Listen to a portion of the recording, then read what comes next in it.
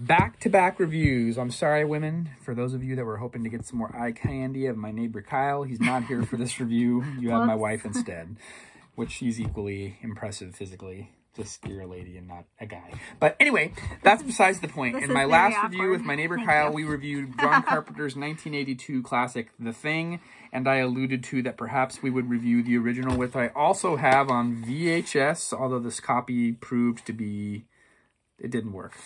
Something's wrong with it.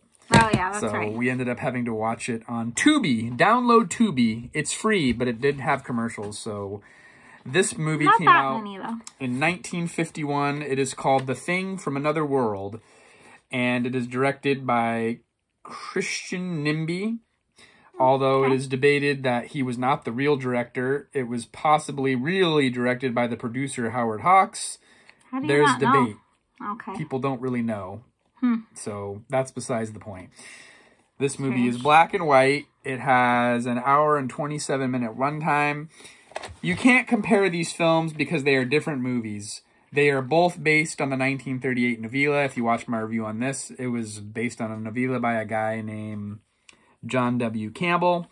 This is a loose adaptation. The novel was more true to this.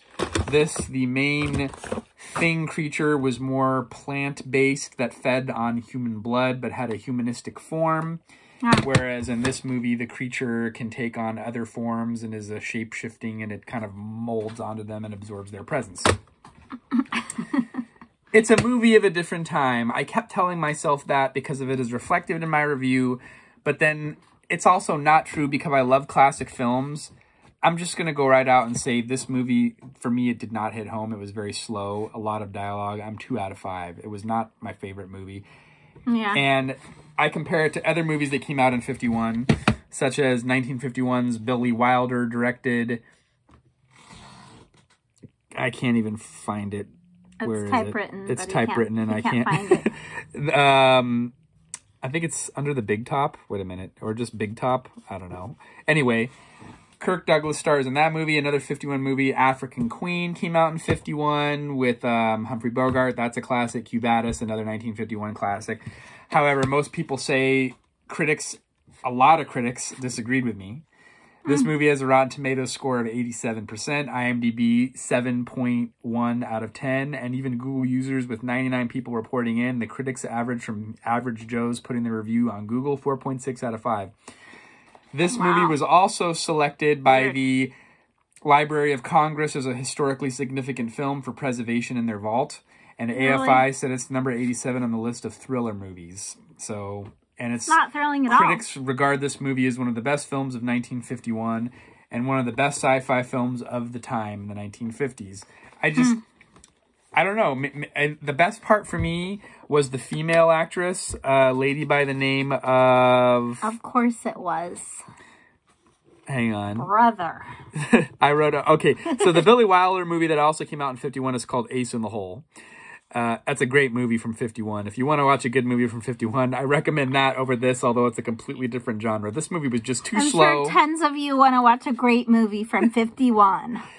Margaret Sheridan, one of the female leads. Uh, maybe you do. Who The knows? best thing in this movie is her in a pencil skirt and a flannel top serving everybody coffee. Ooh. Ooh. Wow. So, uh, the this movie That was the also most sexist thing I have ever heard. very sexist. Partially shot at Glacier National Park and in frozen icebox sets in Los Angeles. The film features one of the first instances of a fully retardant bodysuit with a stuntman set on fire. I thought you said fully retarded for a Ret- second. I fire was about to retardant. get super offended. Fire retardant. Fire retardant. Okay, another All right, important. I'm with you this movie is also maybe having subliminal messaging as McCarthyism and the Big Red Scare was going on. The thing could be equated to maybe it looks like your friend, but he's a communist trying to spread his propaganda.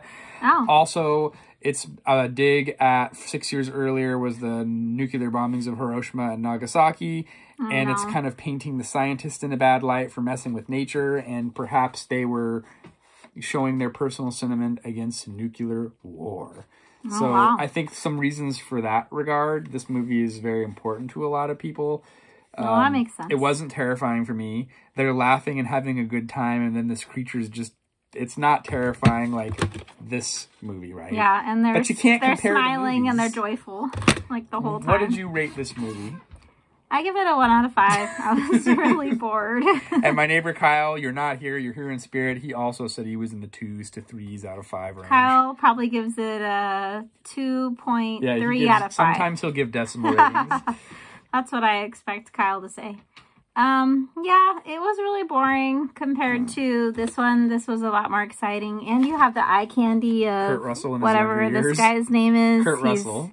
very hairy. He's got a beard and long, luscious hair, and oof, just nice to look at that face.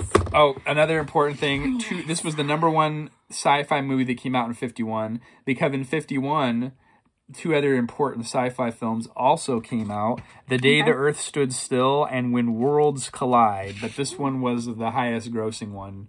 And this was number 46 at the box office in 51. This was more exciting because you actually see the thing. You do see the thing in this, but it's basically just a guy in a mask. Hmm. A very big guy in a mask. I mean, I understand that back in 51 it was or very tame. 52, Movies were a lot more tamer. primitive, but yeah. Yeah, but I mean, the kids were actually like in and out of the room for this, and they actually got like somewhat scared. It was still like pretty cheesy. At any moment, were you frightened or having jump scares with this movie? No, Yeah. I was just looking I at their don't- hairstyles, and I, I was don't really bored. understand why this movie is 87% and is culturally significant. Maybe I'm wrong. Tear me up in the comments. I don't really have anything more to say about it, do you? That's Not it. really. We're not even I going was- to do a I 10 was a one out I of got five. a double review. I'll go. I'll go one out of five just for the hairstyles. The women's hairstyles were just something to look at, but that was all. It was boring. And the copious cups of coffee that were served. Mm, that- I that love coffee, and I miss it so much. Yeah, when you birth that new baby, show everybody. Stand. Ugh, this has nothing to do with. Oh, it does. This could be the thing. Until next time, folks. There's something in there. It's alive. Ah! We'll see you then. Thanks for watching. Bye.